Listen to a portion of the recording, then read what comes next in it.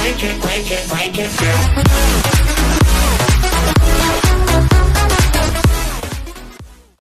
إليه بالإذن وقد نادانا لبيك يا من دلنا وحدانا صلى عليك الله بارئك الذي بك يا مشفع خصنا وحبانا اللهم صل وسلم وبارك وكرم وعظم ومجد على نور الأنوار وسر الأسرار وترياك الأغيار ومفتاح باب اليسار سيدنا محمد بن عبد الله المختار وعلى آله الأطهار وأصحابه الأخيار عداد نعم الله وإفضاله اللهم صل وسلم وبارك على سيدنا محمد الفاتح لما أغلق والخاتم لما سبق ناصر الحق بالحق والهادي إلى صراطك المستقيم وعلى آله وأصحابه حق قدره ومقداره العظيم. أما بعد حضرات المخترمين yang sama-sama kita muliakan para alim ulama para tokoh-tokoh agama pemuka masyarakat terlebih khusus kepada keluarga besar kedua mempelai yang mudah-mudahan selalu dalam lindungan Allah Subhanahu wa taala. Puji syukur kehadirat Allah Subhanahu wa taala. Di siang hari ini kita berkumpul di suatu acara walimatul urs. Bertemunya dua insan karena keridhaan Allah Subhanahu wa taala. Mudah-mudahan hadirnya kita di tempat ini dicatat oleh Allah Subhanahu wa taala sebagai bentuk ibadah kepadanya. Amin ya rabbal alamin. Salawat serta salam mudah-mudahan senantiasa tercurahkan kepada manusia yang besar yang dibesarkan oleh yang maha besar kepada manusia yang agung yang diagungkan oleh yang maha agung. Kepada manusia yang mulia yang dimuliakan oleh yang maha mulia. Beliau adalah sayyidul anbiya wa imamul mursalin. Sayyiduna wa habibuna wa syafi'una Muhammad. Sallallahu alaihi wa alihi wasallam Alhamdulillah pada siang hari ini ini karena sebentar lagi masuk waktu zuhur jadi pembawa acaranya meletakkan di ujung ini memang betul Pak. Jadi supaya acaranya tidak terlalu lama, kemudian sajian juga sudah menanti kita. Hadirin dan hadirat yang dimuliakan oleh Allah Subhanahu wa taala. Di dalam kesempatan ini Al-Fagir hanya ingin memberikan nasihat-nasihat pernikahan dan kita batasi saja dengan beberapa poin saja karena tadi sudah lama terharu dengan kata-kata yang disampaikan oleh MC. Jadi kedua mempelai yang sungkeman kita-kita yang terharu, Pak. Maka nanti boleh dicek air matanya. Kata ulama, air mata itu ada dua jenis. Kalau mengeluarkan air mata, kemudian dicek air matanya hangat, berarti itu air mata kebahagiaan. Nanti yang mempelai laki-laki boleh dicek air mata istrinya. Tapi kalau yang keluar air matanya dingin, Pak, berarti air mata kesedihan. Tinggal dicek masing-masing. Hadirin dan hadirat yang dimuliakan oleh Allah Subhanahu wa taala. Maka di dalam kesempatan ini tentunya di sini ada mempelai laki-laki dan mempelai perempuan. Dan nasihat ini atau nasihat pernikahan ini bukan hanya bagi mereka berdua, akan tetapi nasihat pernikahan ini untuk orang-orang yang telah lama menikah atau baru saja menikah atau yang akan menikah. Di belakang sana insya Allah dalam waktu yang singkat atau dalam waktu yang tidak lama insya Allah akan melangsungkan akad nikah. Kita doakan amin ya rabbal alamin. Yang pertama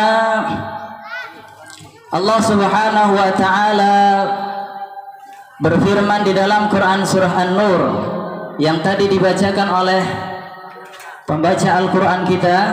Kalam ilahi kita Allah subhanahu wa ta'ala menyatakan di dalam Quran surah An-Nur Ayat 32 seraya Allah Subhanahu wa taala mengatakan wa ankihu al-ayyama minkum was-salihina min ibadikum wa imaikum iyakunu fuqara yughnihimullah min fadlih wallahu wasi'un alim Allah Subhanahu wa taala menyeru dan seruan ini kepada para orang tua orang tua kepada para jombloan dan jomblowati apa seruan Allah Subhanahu wa taala?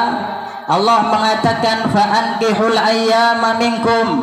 Wahai para orang tua, orang tua, wahai para wali-wali nikah, ankihul ayyama minkum. Nikahkan orang-orang yang masih sendiri di antara kalian. Kalau punya anak-anak bujang, kira-kira sudah dilihat cocok untuk dinikahkan, nikahkan, Pak. Melihat punya anak gadis, sudah layak untuk dinikahkan nikahkan dia wasalihina min ibadikum wa imaikum dan kalau melihat punya hamba sahaya laki-laki perempuan yang sudah pantas dinikahkan maka nikahkanlah. Iyakunu fuqara yughnihimullah kalau masalah dia belum mampu dia mengatakan dirinya miskin maka janji Allah siapa yang menikahkan putra putrinya yughnihimullah maka Allah akan cukupkan. Maka bahasa kaya dengan bahasa cukup ini beda Pak orang kaya belum tentu cukup tapi orang cukup pasti kaya. Betul Pak? Nabi mengatakan al-ghani. Nabi mengatakan kekayaan yang sebenarnya hakikatul ghina ghinaul galab kekayaan yang sebenarnya adalah kekayaan ha, hati. Maka janji Allah bagi orang yang belum punya biaya dan lain sebagainya takut untuk menikah maka Allah Subhanahu wa taala yang akan mencukup mencukupkan. Cukup istrinya empat. Setuju? Tidak setuju. Cukup rumahnya rumahnya empat. Setuju? Cukup kendaraannya Alfat. Cukup uangnya berlipat-lipat. Giliran cukup istrinya empat tidak setuju. Jadi janji Allah kalau tidak mampu Allah yang akan mengayakan, Allah yang akan mencukupkan dicukupkan dari mana min fadlihi dari karunia Allah wallahu wasi'un alim sesungguhnya Allah maha luas pemberiannya Selaras dengan ini Nabi mengatakan an-nikahu sunnati faman an sunnati falaysa minni. Nikah adalah sunnahku. Nikah adalah sunnah nabi-nabi sebelumku. Nikah adalah sunnahku faman raghiba an sunnati falaysa minni. Siapa orangnya yang tidak suka akan sunnahku maka dia bukan termasuk golonganku. Nabi sallallahu alaihi wasallam beliau mengatakan ya ma'syaras sabab man istata'a minkumul ba'a fatal falyatazawwaj. Wahai para pemuda-pemudi, barang siapa di antara kalian yang mampu untuk menikah dan mampu untuk mengadakan resepsi pernikahan falyatazawwaj maka menikahlah.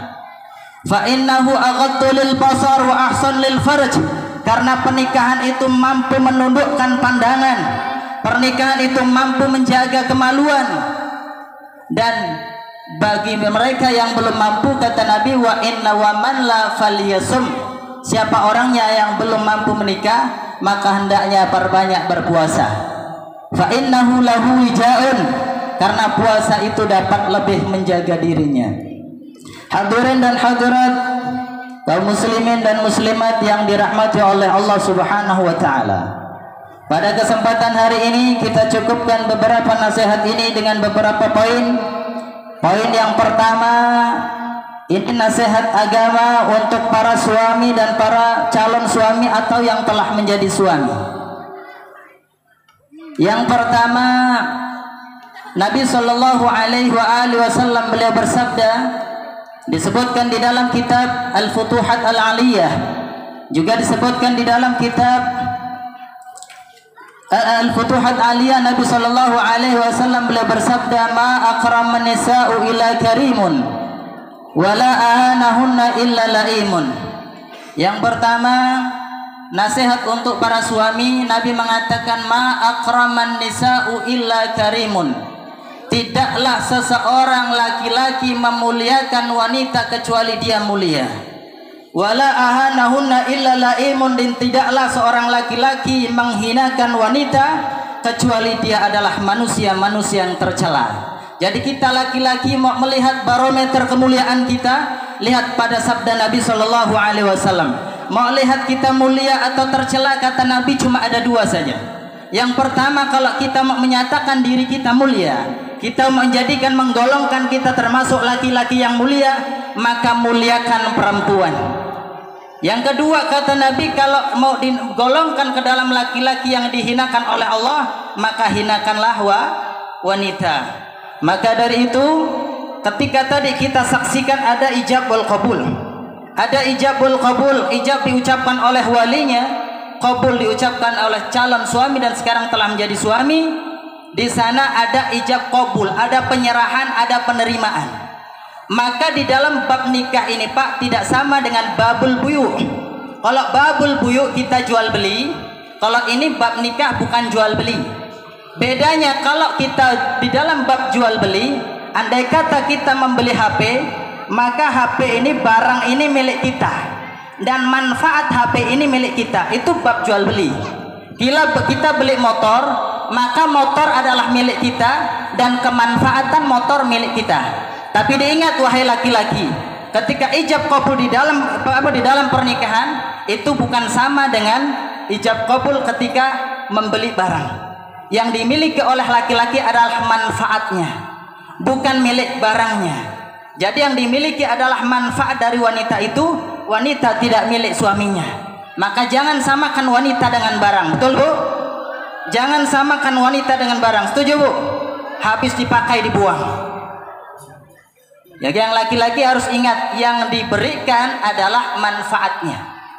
Maka dengan ijab kabul itu, dengan ijab kabul itu Allah menghalalkan sesuatu yang diharamkan sebelumnya. Al-budu. Ya kalau bahasanya itu bahasa yang agak sedikit vulgar. Jadi kalau misalkan jual apa jual beli kita memiliki manfaatnya, memiliki barangnya seutuhnya juga memiliki manfaatnya. Tapi kalau pernikahan yang kita miliki adalah man manfaatnya, sedangkan barang tidak kita milih miliki. Itu akad nikah. Maka dari itu, maka para bapak-bapak, para calon-calon suami yang di luar sana, yang pertama kata Nabi, muliakan diri kalian dengan cara memuliakan antum an, kalian punya istri. Nabi mengatakan khairukum khairukum linisaihim sebaik-baik kalian, sebaik-baik kalian adalah orang yang terbaik kepada istrinya. Maka dari itu karena waktu sudah siang, kita cukupkan dengan tiga poin saja yang untuk apa para laki-laki, para suami, para calon-calon suami.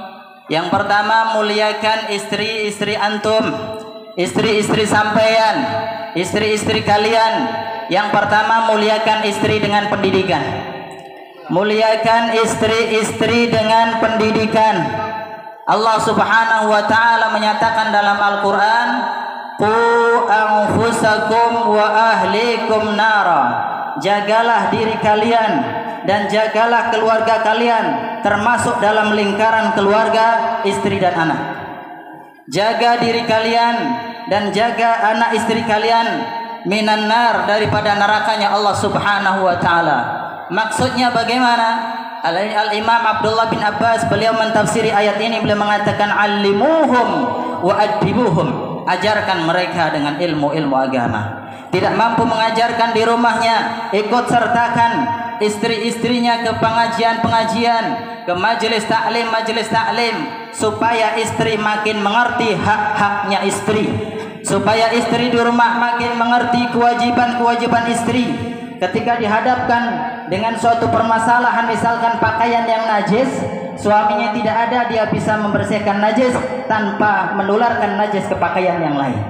Maka penting bagi suami untuk mengajarkan istri-istrinya dengan ilmu-ilmu agama yang pertama muliakan istri-istri yang pertama muliakan istri dengan pendidikan yang kedua muliakan istri dengan pakaian Tutuplah aurat-aurat istri-istri kalian.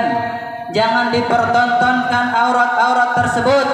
Sebab wahai para laki-laki, ketika kita mengatakan saya terima nikah dan kawinnya, maka di dalam bahasa itu tidak disebutkan saya tanggung dosanya. Di dalam lafaz itu yang tidak disebutkan oleh suami adalah saya tanggung segala dosa dan kesalahannya dan sayalah yang akan bertanggung jawab di hadapan Allah Subhanahu wa taala. Istri berdosa, istri mengobral aurat, istri membuka auratnya, suami tidak memberikan pendidikan agama, suami tidak menegurnya, maka nanti suami-suami yang seperti ini akan dipinta pertanggungjawaban di hadapan Allah Subhanahu wa taala. Nabi sallallahu alaihi wasallam beliau bersabda kullukum ra'in wa kullu ra'in mas'ulun an ra'iyatih. Setiap kalian adalah pemimpin dan setiap pemimpin akan dipinta pertanggungjawaban di hadapan Allah atas kepemimpinannya. Itu yang kedua.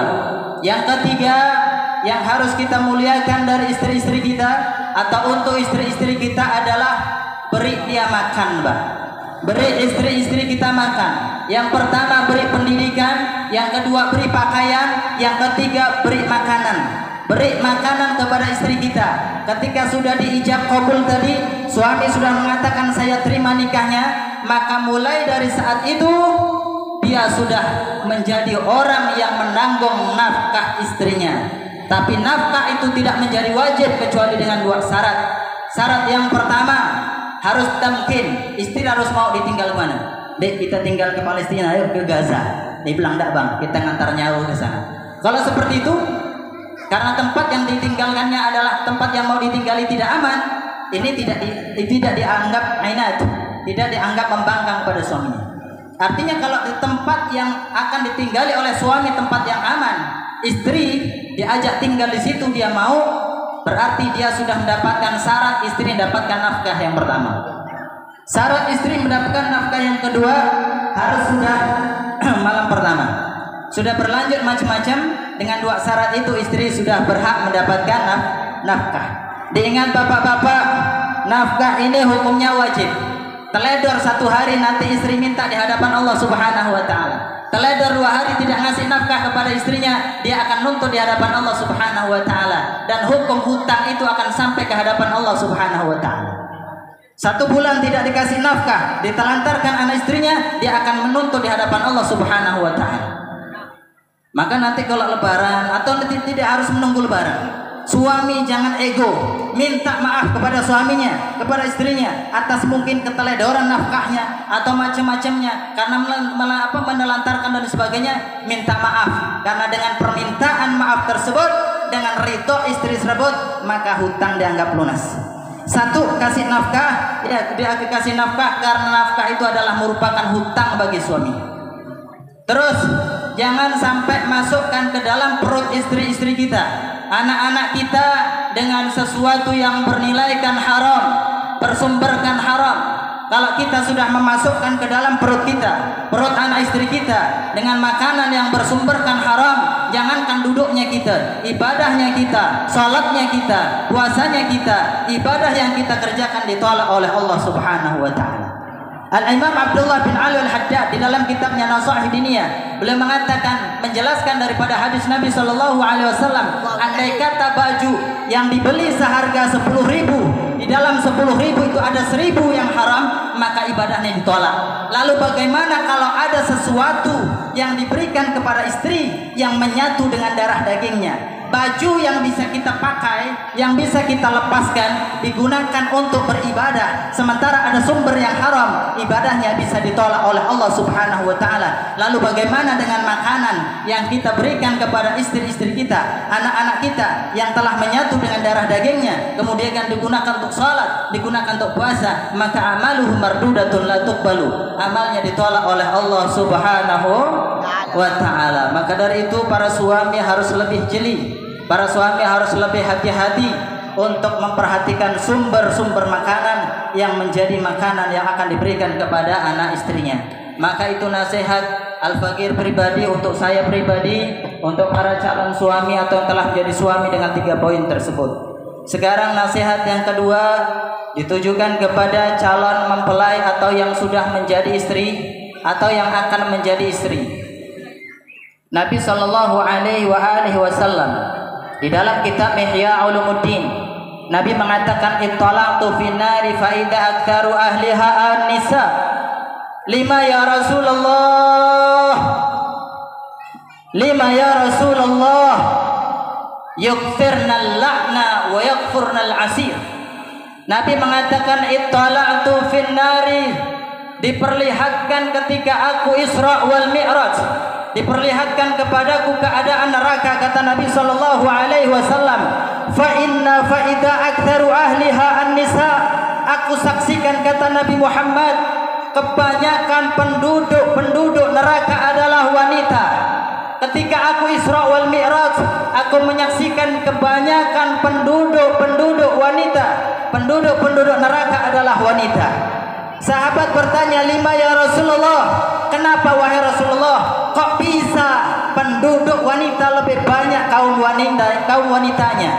Maka Nabi mengatakan penduduk neraka itu banyak dari kaum wanita karena dua hal. Yang pertama kata Nabi yukternal lakna lebih banyak melaknat suaminya. Maka hati-hati para wanita dari mengangkat suaranya di atas suara suaminya.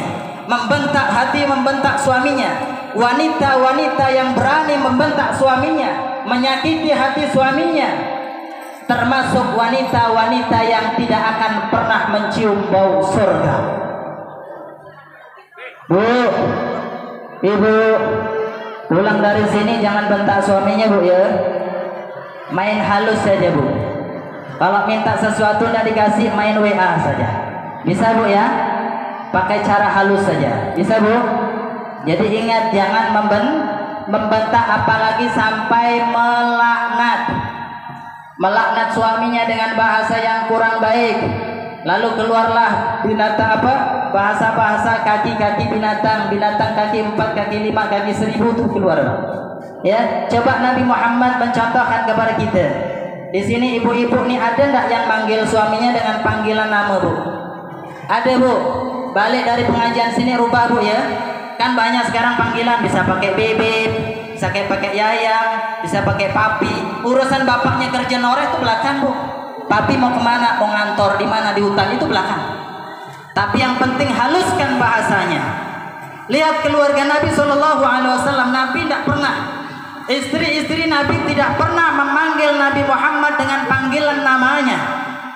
Sayyidah Aisyah Sayyidah Khadijah Sayyidah Zam'ah Sayyidah Sofiyah dan istri-istri yang lainnya kalau manggil Nabi Muhammad dengan panggilan kesayangan balik dari sini pulang dari sini yang meletakkan nama di HP-nya dengan namanya atau dengan panggilan yang kurang di dalam HP-nya dengan nama yang para sahabat-sahabat Nabi mereka memanggil istrinya istri-istri Nabi mereka memanggil Nabi Muhammad dengan panggilan ya Rasulullah ini panggilan kesayangan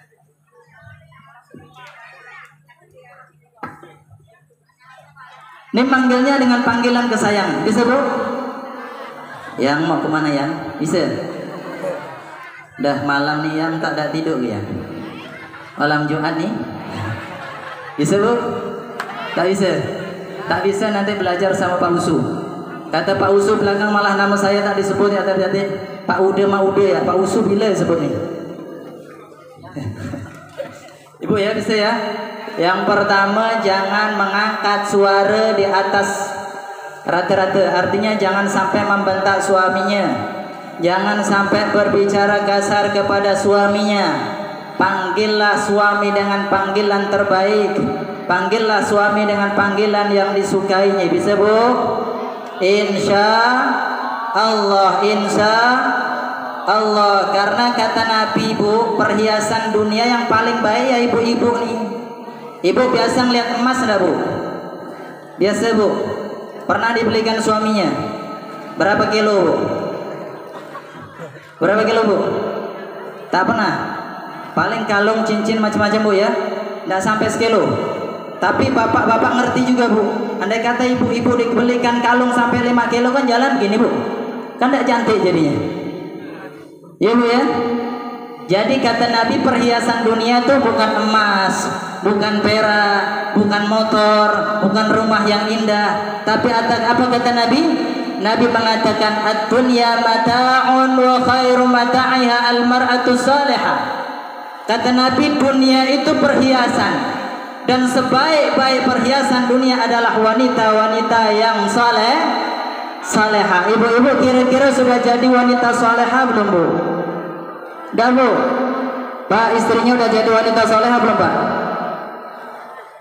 Udah Pak? Belum? Belum Bu? Ibu, mau emas enggak Bu? Mau emas enggak Bu? Mau payungnya kalau suaminya mayungi pakai payung emas mau enggak Bu? Mau relakan suaminya kawin lagi Bu? Kalau suaminya direlakan kawin lagi, diikhlaskan kawin lagi, nanti di akhirnya dipayungi pakai oleh suaminya pakai payung emas. Mau bu? Tidak mau. Kata Nabi Shallallahu Alaihi Wasallam perhiasan dunia adalah sebaik-baik perhiasan dunia adalah wanita soleha. Tahu definisi wanita soleha bu? Ciri-ciri wanita soleha? Yang pertama, idan nadartaha saratka kata. Kalau dipandang menyenangkan. Balik dari sini kira-kira cantiknya ketika kondangan atau di rumah tetap cantik? Cantik ketika kondangan di rumah tetap cantik atau tidak? Kalau di sini pakai minyak wangi balik bau minyak wangi atau minyak telon? Minyak angin. Maka kalau mau jadi wanita soleha yang pertama senangkanlah suami. Ida nadar sarratka kalau suami mandang senangkan dia kenyangkan matanya, pandai-pandailah berdandan di hadapan suami. Ini ciri-ciri wanita yang soleha yang pertama. Ciri-ciri wanita yang soleha yang kedua, ida amartaha ata'atka. Kalau diperintah taat. Dek, bikinkan abang kopi. Ya orang masuk angin bah, buat ada kopi seorang. Gula ada, teh ada, kopi ada, buat ada seorang. Ini belum berarti belum menjadi wanita-wanita yang soleha. Jadi ciri-ciri wanita yang soleh yang kedua adalah ida amartaha atau atka. Kalau diperintah ta taat. Kalau diperintah ta taat. Bu, sekarang kalau ibu-ibu sudah menikah, surganya ini pindah ke suami ibu. Maka hak terbesar seorang wanita setelah haknya Allah dan hak Rasulullah, hak terbesar wanita adalah suami, bukan kepada orang tua lagi. Hak terbesarnya wanita setelah hak kepada Allah dan hak kepada Rasulullah adalah hak suami. Maka Nabi Muhammad mengatakan andai kata manusia boleh sujud kepada manusia, aku akan perintahkan wanita untuk sujud kepada suaminya. Tapi wanita manusia tidak boleh sujud dengan manusia yang lainnya. Karena saking besarnya haknya wanita terhadap suaminya. Maka apa pun yang diperintahkan suaminya taati selagi yang diperintahkan bukan yang maksiat. Oh kata Pak Ustadz kan pokoknya taati Tapi ada pengecualian Kalau hal-hal yang ditunjukkan Diperintahkan oleh suaminya bernilai maksiat Tinggalkan La ta'ata fi makhlukin fi maksiatil khalik kata Nabi. Tidak boleh taat kepada makhluk untuk bermaksiat kepada khalik kepada Allah Subhanahu wa taala. Ciri-ciri terus ciri-ciri wanita yang saleha yang ketiga adalah jika engkau tidak ada darimu idza ghibta anha kalau tidak ada ditinggal pergi ke ladang ke pergi ngantor ke ninggalkan rumah. Apa yang dijaganya? Kemaluan dan hartanya. Kehormatan dan hartanya. Di rumah tidak ada suaminya. Jangan masukkan laki-laki ke dalam rumahnya tanpa izin suaminya. Oh dia kan teman lama saya. Kata kita teman lama kata setan bukan teman lama. Ibu ya? Jadi cukup ingat tiga ciri-ciri atau syarat menjadi wanita saleh. Yang pertama kalau dipandang menyenang, yang kedua kalau diperintah tak taat, kalau yang ketiga kalau suami sedang tidak ada di rumah, maka jagalah kehormatan dan jaga harta sua, suami. Ini tergantung terserah ibu kau pilih jadi yang mana.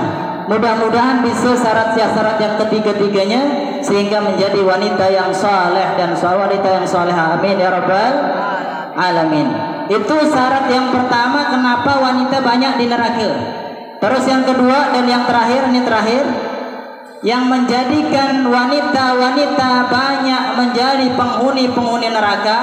Yang pertama kata tadi kata Nabi tadi mengatakan yukfirnal la'na banyak melaknat wa al ashir banyak kufur dengan suami dikasih rezeki kasih uang sehari sekian kasih beras sehari sekian kasih sayur sehari sekian dengan sayur ini tidak pernah berterima kasih. Selalu mandengkan dengan suami yang lain. Coba lihat tuh suami fulan tuh. Hah? tiap hari makanannya itu sayur ini. Coba lihat eh, suaminya fulan tuh. Suami istrinya dibelikan ini, belikan ini, belikan ini. Ini wanita-wanita yang tidak pernah bersyukur kepada suaminya, maka kabar gembira bagi mereka adalah nerakanya Allah Subhanahu wa taala. Nauzubillah wa naudzubillah min dalik. Maka nasihat yang ini pada hari ini untuk wanita-wanita yang di sini, para istri-istri yang salehah, pegang dua nasihat Nabi ini, jangan banyak melaknat suami dan jangan banyak mengkufuri pemberian suara suami insya Allah Allahumma salli ala Muhammad Mungkin ini yang dapat Al-Fakir sampaikan karena waktu sudah siang kita lanjutkan dengan acara yang selanjutnya. Mohon maaf segala atas segala kekurangan. Ihdinas siratal mustaqim. Assalamualaikum warahmatullahi wabarakatuh